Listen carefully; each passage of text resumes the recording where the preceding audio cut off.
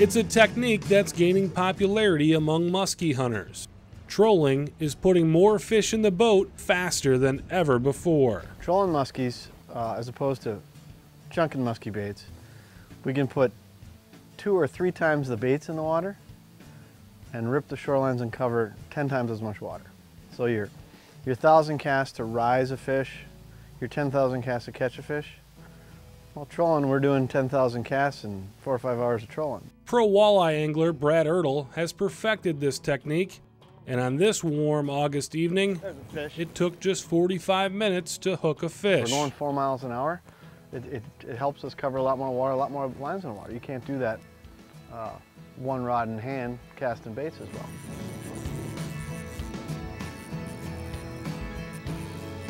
That's good, you can leave the rest.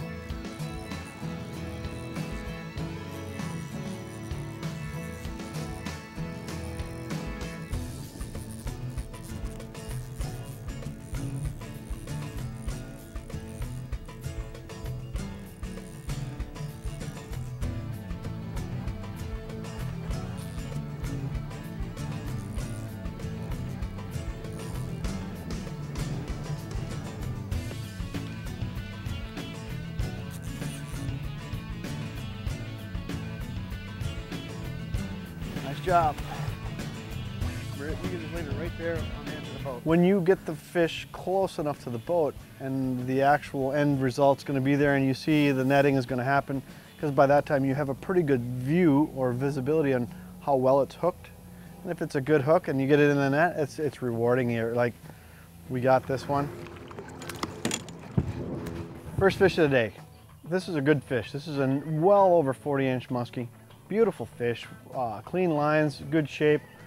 A lot of people don't realize how fantastic of a muskie fishery the St. Croix River is. Nice St. Croix muskie. It's great. I mean, it's, it's up there with uh, Minnetonka, which is well known in the area of being a great muskie fishery.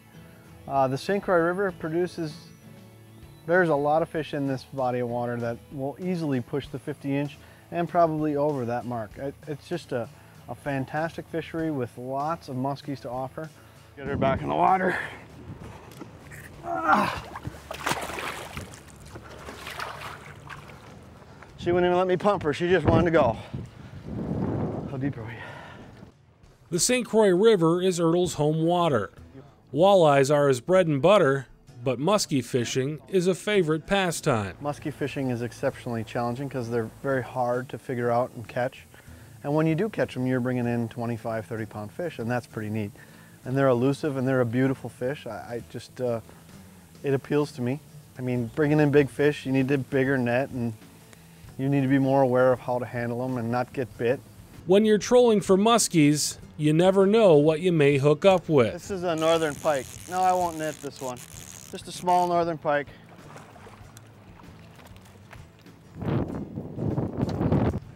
Man, they're aggressive today. We're gonna get another fish. In less than an hour, another fish was on. This time, Brad's friend Keith battled the muskie.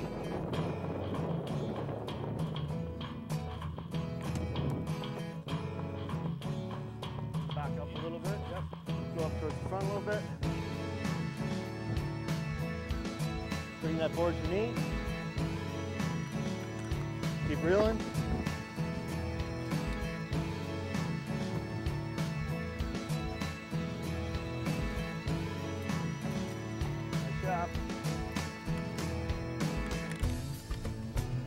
When working with fish like muskie and pike, Ertel recommends fishing gloves. Gloves help me uh, not get cut up, and I'm more confident when I handle the fish. And, and in, in the long run, or in the, the end result, is that the muskie's healthier when I release them because I don't have to be tentative and drop them three or four times. It's just it's it's safer for everyone. Another 36, 37 inch muskie. You want to hold on to him? We'll get her back in the water. Being careful with these giants is regular practice for muskie anglers. Pull the net. For Ertel, the release is just as rewarding as the catch. They're a lot of fun to catch, but getting them in the boat and working through them, getting them back in the water safely and having a, a good release with a healthy fish, awesome. There she goes. Good work.